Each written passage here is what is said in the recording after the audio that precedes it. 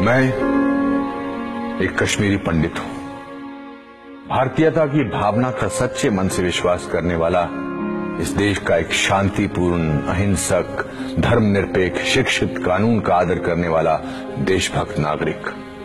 26 साल पहले आज ही के दिन मुझे अपने घर से बेघर कर दिया गया। ये मेरी कहानी है। उन्नीस के शरद ऋतु के आते आते कश्मीर में आतंकवादियों का बोलबाला था। राज्य सरकार ने अपनी सभी जिम्मेदारियों का त्याग कर दिया था और किसी प्रकार का कोई प्रशासन नहीं रह गया था। आतंकियों के फरमानों ने कश्मीर घाटी को अपने लपेटे में ले लिया था। ऐसा लगता था जैसे भारतीय होना मानो एक गाली हो। आतंकवादी हिट लिस्ट जारी करने में लगे हुए थे। हर वो शख्स जो भारत समर्थक था, उसे मुखबिर करार दिया जाता था। उसको मारना जिहाद था और पुण्य भी। प्रमुख कश्मीरी पंडितों को पहले से निशाना बनाकर मारा जा रहा था। सामाजिक कार्यकर्ता टीकालाल टपलू को सरेआम दिन दहाड़े श्रीनगर में मारा गया। नीलकंठ गंजू को करणनगर में मार दिया गया। और उनका शव सड़क पर कई घंटों तक पड़ा रहा। वकील प्रेमनाथ भट्ट की बेरहमी से दक्षिण कश्मीर के अनंतनाग क्षेत्र में हत्या की गई। अनगिनत अज्ञात पंडितों की निर्मम हत्याएँ की गई। संदेश स्पष्ट था। 4 जनवरी 1990 को आफ्ताब समाचार पत्र में हिजबुल मुजाहिदीन ने प्रेस विज्ञप्ति प्रकाशित करके सभी हिंदुओं से घाटी छोड़ने के लिए कहा। एक अन्य समाचार पत्र अलसफा में भी यही प्रेस विज्ञप्ति छपी। जल्द ही यही नोटिस कश्मीरी पंडितों के घरों के दरवाजे पर चिपका दिए गए। 19 जनवरी 1990 की उस दुर्भाग्यपूर्ण रात में कश्मीर को ऐसा ग्रहण लगा, मानो अंधेरे ने प्रकाश को अपने आगोश में निगल लिया हो। कश्मीर के हर कोने से, हर नुक्कड़ से, हर सड़क से, हर बाज़ार, हर गाँव से ऐसी आवाज़ बुलंद हुई जो पंडितों के लिए मौत का संदेश था। हज़ारों लाखों का हजूम कश्मीर की सड़कों पर उतरकर जहरीले नारों में उद्वेश कर रहा था, जो पहले कभी नहीं सुना था, न देखा गया था। पूरे कश्मीर में मस्जिदों से घोषणा की जा रही थी कि कश्मीर पाकिस्तान बनेगा।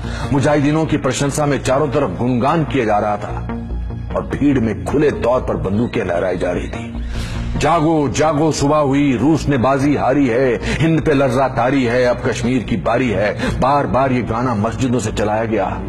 अगर कश्मीर में रहना है, अल्लाह अकबर कहना होगा, ए जालिमो, ए काफिरो, कश्मीर हमारा छोड़ दो। इन नारों का सिलसिला मानो थमने का नाम नहीं ले रहा था। एक बंद होता था तो दूसरा शुरू हो जाता था।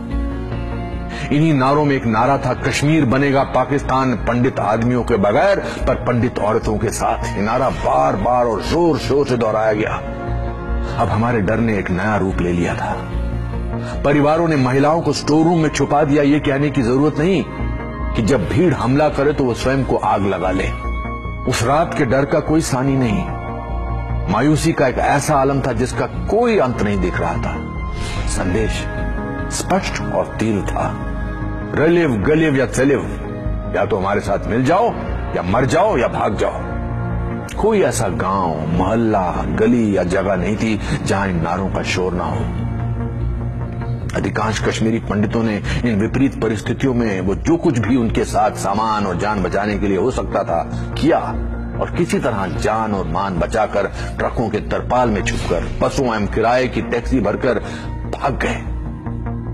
बड़े पैमाने पर पलायन शुरू हो गया। सरकार, बुद्धिजीवियों, निरपेक्षवादियों, देश के प्रति सद्भावना रखने वाले सबकी अंतरात्मा सोने चली गई थी। कोई भी इसके बारे में बोलने को तैयार नहीं था। 19 जनवरी 1990 के बाद के दिनों में कश्मीरी पंडितों का कत्लेआम शुरू हो गया। और कश्मीरी पंडितों पर अत्याचार की इंतहा होने लगी थी। बांदीपुरा में शिक्षिका गिरिराज टिक्कू की गैंगरेप के बाद हत्या की गई। इस तरह की सैकड़ों खबरें आम हो रही थी। इस पर पूरी किताबें लिखी जा सकती है कि किस प्रकार से लोग आतंकवादियों से प्रताड़ित हो रहे थे। और किस तरह प्रशासन मूक दर्शक बनकर कश्मीरी पंडितों पर हो रहे अत्याचारों को अनदेखा कर रहा था। उन्नीस सौ इक्यानवे तक ज़्यादातर पंडित घाटी से पलायन कर गए और उन्हें जम्मू के दुर्गम स्थानों में कांटों व धूल भरे टेंट शिविरों में रखा गया। साठ हज़ार से ज़्यादा परिवारों ने पलायन किया और उनको ऐसे शिविरों में रखा गया जहाँ शौचालय जैसी मूलभूत सुविधाएँ भी नहीं थी। एक परिवार को एक टेंट अलॉट किया गया जिसमें दस दस सदस्य कभी कभी साथ ही सोते थे। निजता का नितान दबाव था। इन शिविरों में काफ़ी बड़ी तादाद में बीमारी से मौतें भी हुई। ज़्यादातर मौतें सांप के काटने और अत्याधिक गर्मी के कारण हुई। कश्मीरी पंडितों को मरने के लिए छोड़ दिया गया था। पंडितों के हज़ारों घरों, सैकड़ों मंदिरों को जला दिया गया और ज़मीन में ढहा दिया गया था। ये सब एक बहुसांस्कृतिक धर्म निरपेक्ष भारत में हो रहा था।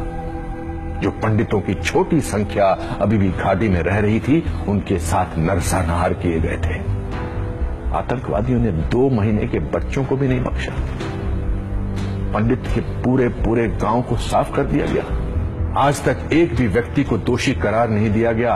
हज़ारों पंडितों की हत्या व नरसंहार की सजा तो दूर की कौड़ी है। किसी ने इस नरसंहार और पलायन पर कोई इस प्रकार की चिंता प्रदर्शित नहीं की। हमारे घर छूने पड़े हैं। मंदिर अपवित्र है। सब कुछ ढहने को है। 26 साल के बाद आज भी जम्मू के बाहरी इलाके में अपने देश में शरणार्थी के रूप में कश्मीरी पंडित अभी भी शरणार्थी शिविरों में रहते हैं। और जहाँ उन्हें ज़्यादा सहायता भी नहीं दी जा रही है, आज की सोशल मीडिया की पीढ़ी में जब दुनिया में करीबी बढ़ रही है और लगभग सब कुछ उंगली की टिप पर उपलब्ध हो रहा है, तब भी हमारे अपने देश के नागरिकों की उनके अपने देश में ही दुर्दशा बनी रहती है। और उन्हें उनके हाल पर यूँ ही छोड़ दिया जाता है। इस सब के बावजूद, मैं आज भी उम्मीद करता हूँ कि हमारे साथ इंसाफ हो। जय हिंद।